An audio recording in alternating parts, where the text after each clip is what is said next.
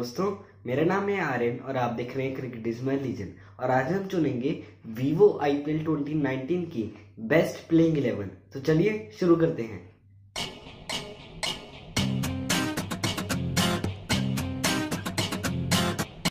तो मैं ओपनर्स रखूँगा डेविड एक्सप्लोसिव वार्नर और कमाल लाजवाब राहुल डेविड वार्नर में तो कोई शंका ही नहीं है, वो तो हर एक की टीम में होंगे ही होंगे। हाईएस्ट रन गेटर है इस सीज़न के ऑरेंज कैप वैसे भी है, पर उनको ही मिली है। और 12 मैचेस खेले हैं, उसमें 600 कुछ रन बना गए तो वो तो मेरी टीम में, हर एक की टीम में होंगे ही होंगे, उनके साथ के राहुल वो सेकेंड हाईएस्ट रन गेटर है, और उन्होंने भी कई बहुत ही अच्छी पारी खेली है। एक जो हंड्रेड बनाई मुंबई इंडियंस के सामने, बहुत ही अच्छी पारी थी, और कई छोटी छोटी भी, बहुत ही इफ़ेक्टिव पारियाँ खेली हैं।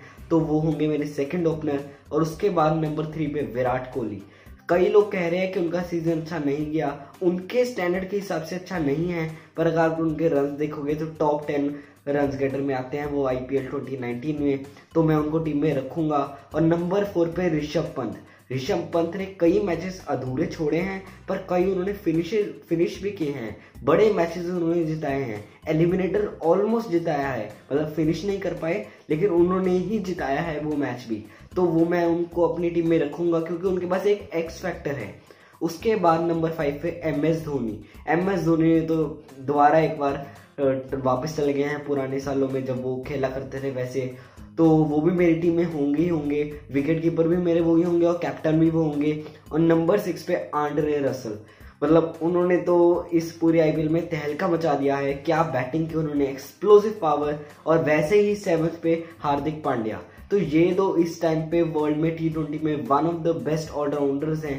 दोनों ही मतलब अलग ही लेवल पे खेल रहे हैं दोनों। तो ये दोनों अगर आपकी टीम में हो गए तो आपकी टीम वैसे ही बहुत स्ट्रांग हो जाती है।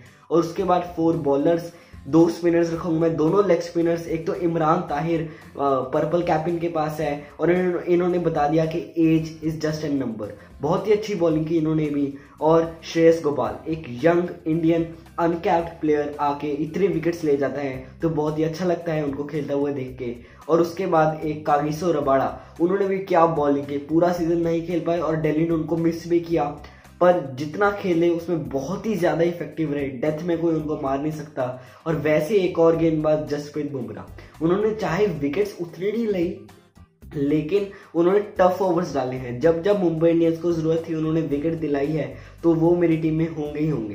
तो चलिए दोस्तों, ये थी मेरी आई आईपीएल 2019 2019 की eleven with four overseas players अगर आपको, आप सहमत है इस इलेवन से तो इस वीडियो को लाइक और शेयर करना ना भूलें और चैनल को सब्सक्राइब कर बेल आइकन ज़रूर दबाइए।